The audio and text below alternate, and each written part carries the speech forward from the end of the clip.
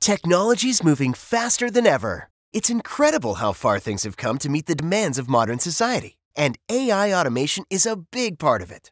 From asking a robot speaker to play your Monday tunes to keeping entire energy grids working, automation's here to streamline life.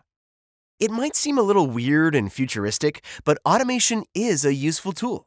In the food industry, it can help improve safety and compliance, protecting consumers and driving business forward. But it needs to be used effectively. This course looks at the benefits and drawbacks of automation and how to overcome problems with using automation as a tool for advancement. So, set your emails to auto reply, put your cell phone on silent, and let's discover how AI automation can help your business progress.